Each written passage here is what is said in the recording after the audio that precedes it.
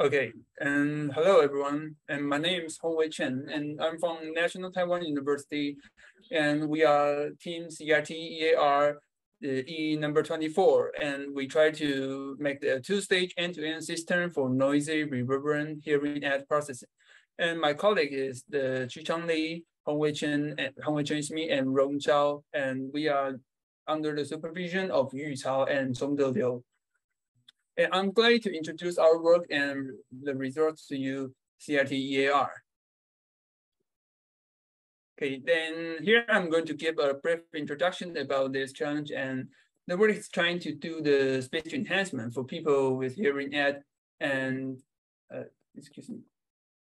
And it is under the circumstance that listener is in a room with very multiple noise, multiple interference, and with head rotation. Additionally, the hearing aids contains three microphones and one microphone contains two channel speech. So we should totally make a good use of this, maybe six channel or seven channel signals. Therefore, the question for us are, how can we do the multi-channels enhancement with reverberance? The first question is this. And the second question is, how can we enhance the noisy speech for people with different hearing loss?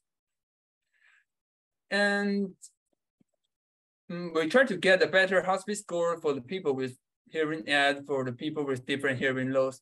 And so here is our methodology. And I'll introduce the methodology of our work. Here is the flow chart of our work. And we can simply split it into two stages. First, you can see in the left figure, uh, in the left uh, in the left hand side for speech enhancement, we aim to reduce the corruption made by noisy reverberant environments and thus transform the low quality signal into clean ones. Next, for hearing loss compensation, we post-process the prediction results based on the first stage. And to read to enrich the perception of the serving listeners with particular hearing loss. By inputting the audiograms as conditional features, we design an auditory correction. We call it the AC algorithm to amplify the listener to amplify the listener specific frequency bins. Yes. And let's go into the first part of our, our system, the first stage, head rotation aware speech enhancement. And just as the left figure, we have two modules to build this stage, uh, which are the SE module and the head rotation layer. For the SE module, and we focus on developing a denoising module to suppress interference from both noise or speech source made by the reflection. And we choose the work successive downsampling and resampling of multi-resolution features. We call it SuDoRM-RF. And the right-hand one is the right-hand one. We choose this, we choose it as the our architecture. It is based on an encoder, separator, decoder framework, and we can directly process inputs in the time domain. And in addition, we construct an external 1D convolution layer to process the head rotation feature. And the six channel, the six channel signals uh, will be concatenated with the head rotation feature to fed into the external layers and then respectively add the output to the hidden maps in the front and middle labels of the main SE module. And the objective function we select in stage one is the signal to noise ratio SNR loss, since we think that the magnitude of the signals will hugely affect the measurement of HASPI scores. And to preserve the consistency of the signal level information, and the negative value of SNR is preferable choice for us.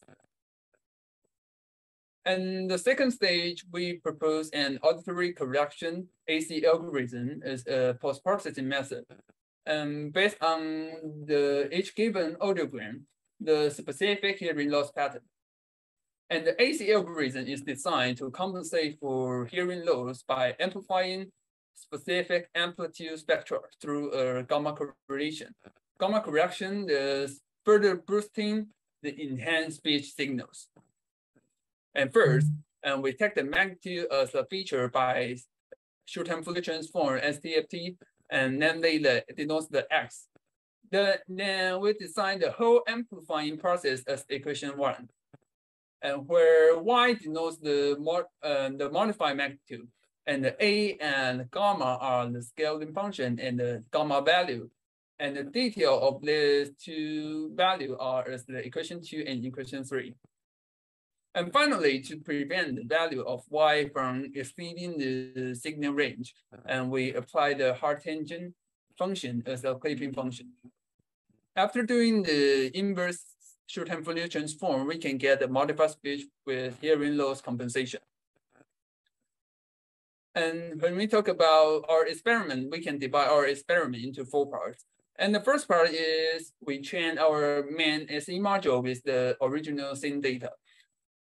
And the next one, we first the main SE module in the first stage and externally train the head rotation layer with the original scene data.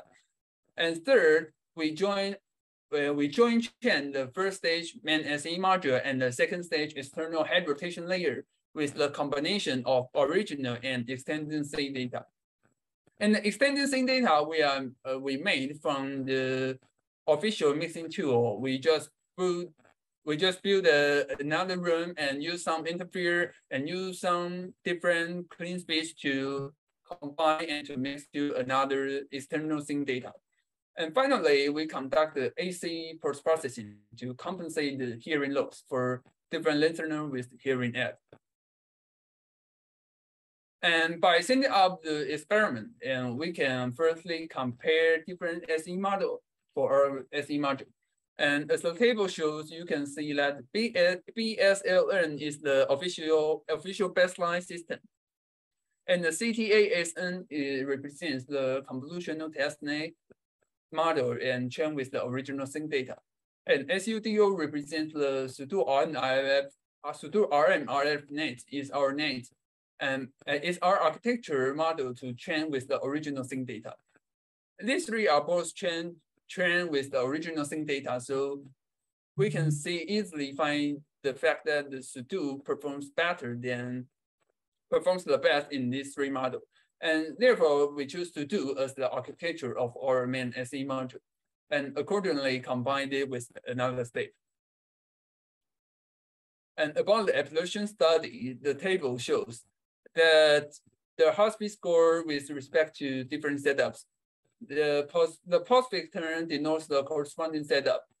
The dash HR represents the we take we take the head rotation feature and combine the SE module with the external head rotation layer. And dash EXT represents the we train our model with combinational of original and external scene data. In dash AC represents the post-processing the denoising result by the AC algorithm.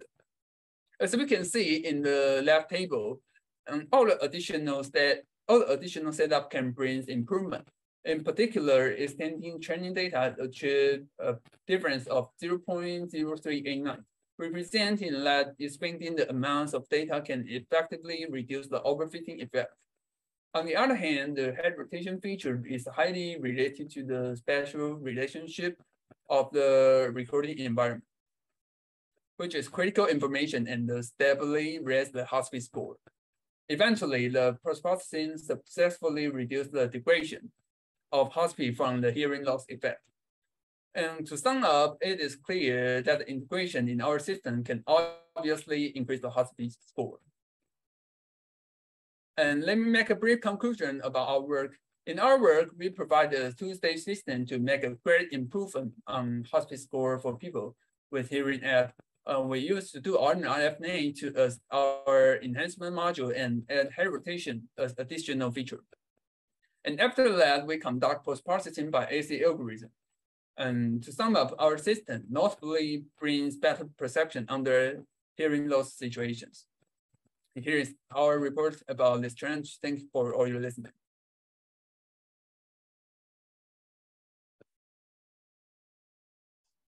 Thank you very much, Hongwei. Thank you very much. Thank you. Um, while we have a, a, good few time for questions, I'll wait for some to come in. Um, I'll ask my two questions, if I may. What did you find most challenging? And of your your implementations, what are you most proud of? Okay, we think the most challenging is about the, how to evaluate the HASPI HASPI situation because we are people with not uh, without the hearing aid and without the hearing loss, so we cannot actually eva evaluate the result is good for the for what kind of audiogram. So we just try different module and try different name to try to simulate the hearing loss, try to simulate the audiograms type. Yes.